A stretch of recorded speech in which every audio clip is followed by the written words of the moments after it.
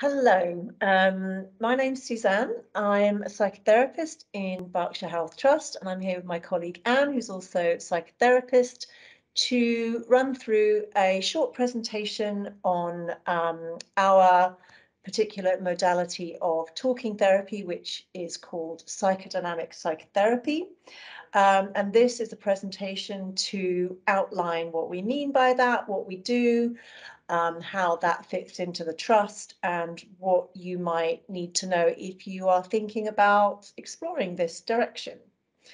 So going to start with um, a sort of little definition of what psychodynamic psychotherapy is.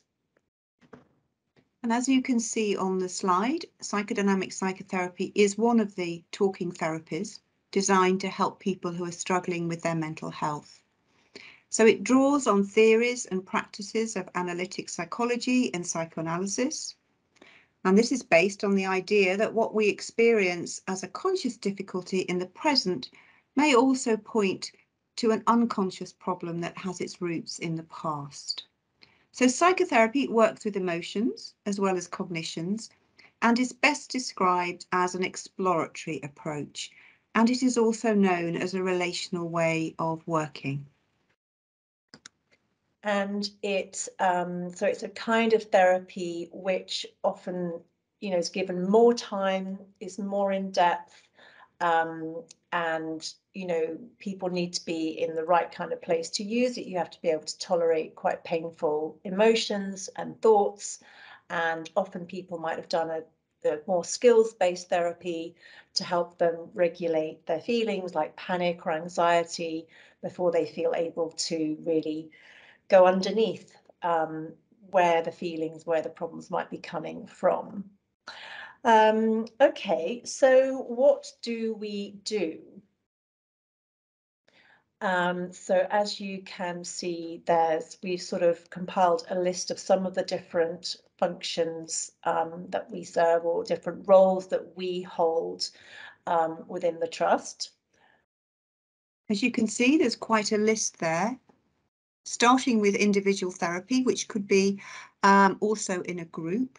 Generally, therapy is weekly, but we also work as part of a team. And as you will see from the list, that we often facilitate uh, thinking about clients in very um, many different ways, conducting assessments, providing supervision, uh, and attending referral meetings where uh, decisions can be made about patients' treatment choices and often psychotherapists are able to sort of bring a different angle onto what we think might be going on for someone. So it's it's very it's very interesting and very helpful to have um, psychological therapists who have you know come from slightly different angles will be coming from more underneath and then there'll be you know maybe cognitive therapists who are looking at thought processes and you know my experience certainly is that uh, it's a really rich um, sort of coming together of different ways of thinking about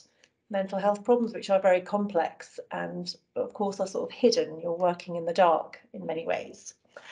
Um, so where can we do this work? Where do we work is the next um, slide. And as you can see, you with a psychotherapy training, you can work in a number of locations.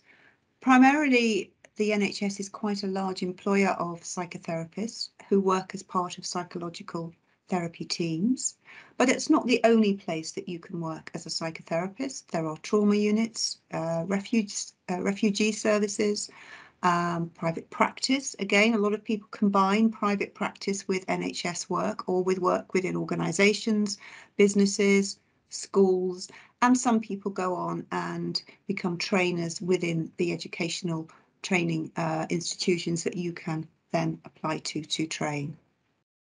Mm -hmm. And um, how can you get there? So there's um, some information there, and we just wanted to sort of highlight that it's a postgraduate qualification. You need an undergraduate degree, but it doesn't matter in what. Um, and that we really uh, would stress that if you think you might want to work in the NHS or to give you that option, actually, it is important that you choose a training which is validated by, so as on, on the slide, the UKCP or the BPC. They are the accrediting bodies that the NHS will accept. So it's probably worth making sure, you know, any training course you're interested in uh, will give you that accreditation. Um, and personal therapy is a key part of all psychotherapy trainings. And it's, you know, one of the greatest benefits, I would say, that you get from it. Um, and many people carry it, you know, carry it on. But so it's something you really benefit from yourself in that way as well. Okay, we, this is a little slide with just some words that we thought of in terms of, you know, qualities that we think lend themselves to working in this way.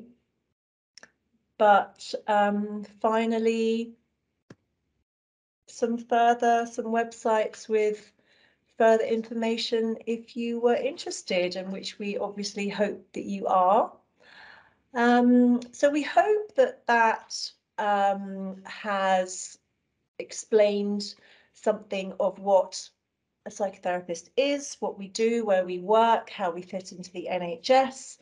Um, and uh, thank you very much for listening um, and best of luck. Bye bye.